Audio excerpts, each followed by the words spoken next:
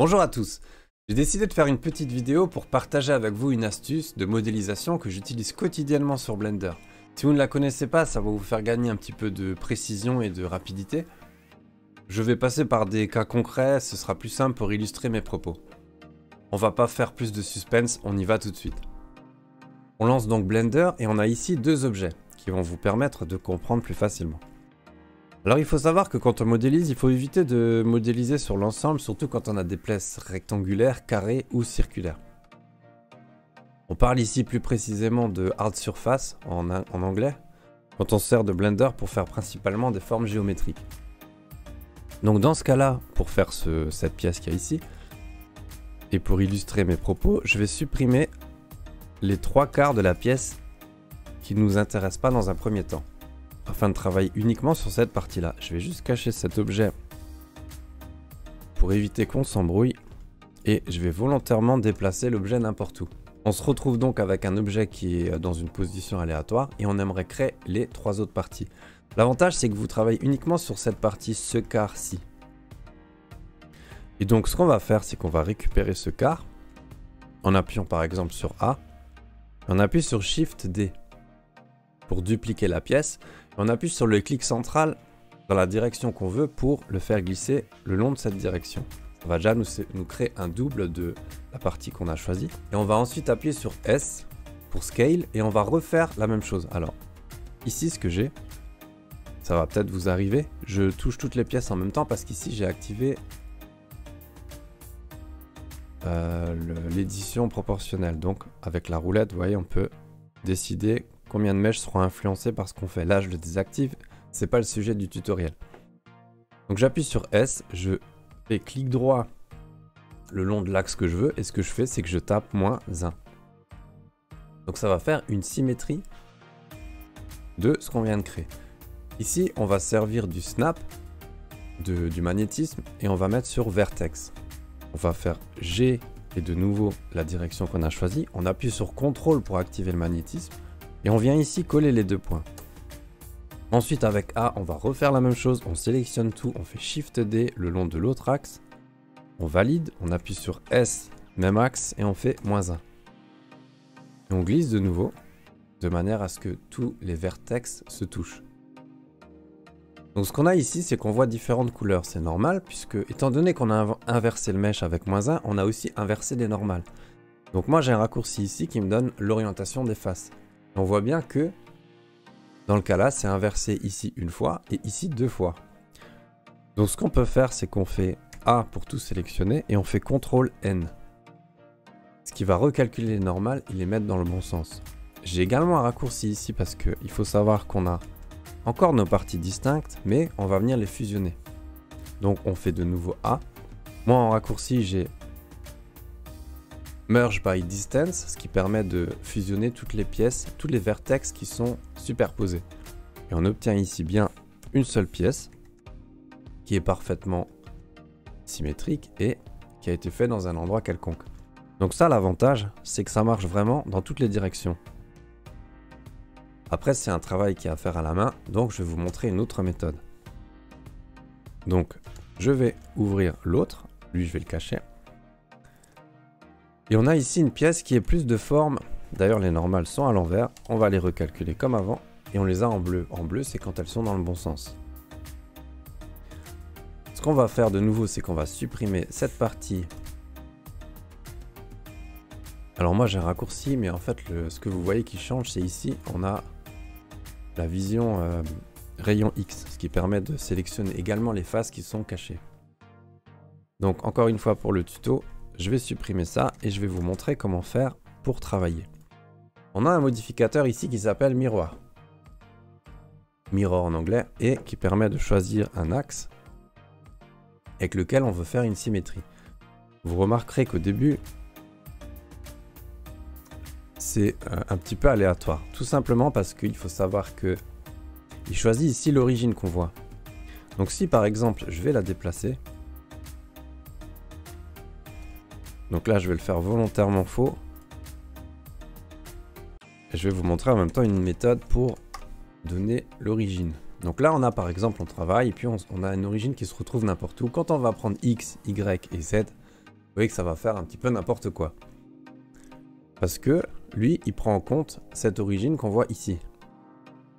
Et qui est ici donnée avec le point euh, orange qu'on voit là et dont la position est là. Vous voyez? Donc ce qu'on fait, c'est qu'on va redéfinir l'origine là où on veut. Ici, on veut en fait qu'elle soit... Donc c'est un peu manuel, mais parfois il faut passer par là.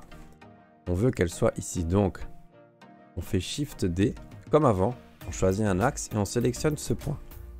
Il va donc venir sélectionner le vertex qui est ici et l'aligner parfaitement avec le vertex qui est là. Une fois qu'on a cette position, moi je tape souvent les fonctions, hein, mais si, vous les avez en, raccourci, ça marche aussi. Donc la fonction, c'est aussi pour vous montrer. Elle s'appelle set 3D cursor. Donc ça permet de définir la position du curseur 3D. Euh, non, c'est pas ça que je voulais faire, mais ça vous montre en même temps. En fait, ce qu'on va faire, c'est qu'on va lui dire de mettre le curseur sur la partie qu'on a sélectionnée, donc le point. il va venir ici mettre le curseur sur le point. On quitte le mode Edit et on fait ici Set Origine. Une fois qu'on lui donne Set Origine, on a plusieurs choix. On peut mettre euh, l'origine sur le centre de gravité de la surface, de volume, ou tout simplement sur le curseur 3D. Une fois qu'on a notre origine qui est ici, on aura techniquement la position qui a changé là. Et vous voyez que si je le mets sur 0 par exemple, donc au milieu de notre scène, on a bien l'origine qui se met au milieu de notre scène. Et ici, si on fait maintenant une symétrie, donc sur Y et sur Z, on sera juste. Après, ce qui se passe, c'est que là, je peux appliquer la rotation et l'échelle pour être sûr que je suis dans la bonne direction. Et donc, on va bien faire une symétrie sur l'axe Y et une symétrie sur l'axe Z. Une fois qu'on applique, on a de nouveau la pièce qu'on avait au départ. Ici, on peut supprimer par exemple les edges qu'on a ici en faisant dissolve edges et on les supprime proprement. Donc ça, c'était les deux méthodes.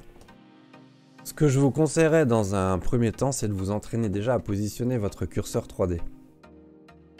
Donc ce que je fais moi, vous avez vu en fait, ici je peux le supprimer.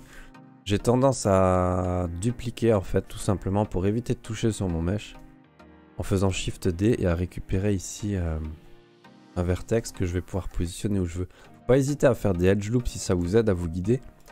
Même si c'est pour les supprimer plus tard, il n'y a aucun problème. Ils sont là pour ça. Et il va nous permettre vraiment, vous voyez comme ça, de le positionner exactement où on veut et ensuite le curseur 3D va tout modifier. Donc ça c'est vraiment la petite astuce qu'on peut faire à la main ou avec le modificateur. La dernière chose que je voulais vous montrer c'est dans le cas où on est vraiment dans une position totalement improbable. Et si j'applique ici mon échelle, je vais me retrouver dans une position un peu spéciale. Je vais vous montrer, ce sera plus concret. C'est une astuce qui est très importante. Quand on, a, est sur des grosses modélisations, on commence vraiment à avoir des origines qui bougent. Donc là, si on refait la même méthode que je vous ai montré, on fait Shift D sur un axe, on tombe jamais sur le bon axe. Donc là, ce qu'il faut faire, puisqu'on n'a pas le choix dans ce cas-là, c'est qu'il faut créer un nouveau système de coordonnées. Et pour ça, on choisit par exemple une arête. Et ici, on a global. On peut appuyer sur le plus. Ça va nous donner en fait une nouvelle orientation qu'on va appeler euh, orientation tuto 01 le tuto. Et ensuite, elle va venir ici s'afficher. Ce qui se passe, c'est que ça va redéfinir l'axe X. Si je déplace euh, par exemple sur Y, eh l'axe Y va être le long de l'arête qu'on vient de lui donner. Ça va nous permettre ici de refaire la même méthode. je vais le faire proprement. Hop, on fait S de nouveau. Avec le clic du milieu, on se met dans la bonne direction. on va bien pouvoir faire notre symétrie à la main. Et encore une fois, sur cet axe ici, S, Y, moins 1. peut aussi taper au clavier, hein, tout simplement. Si on veut faire S, Y, moins 1, ça marche aussi.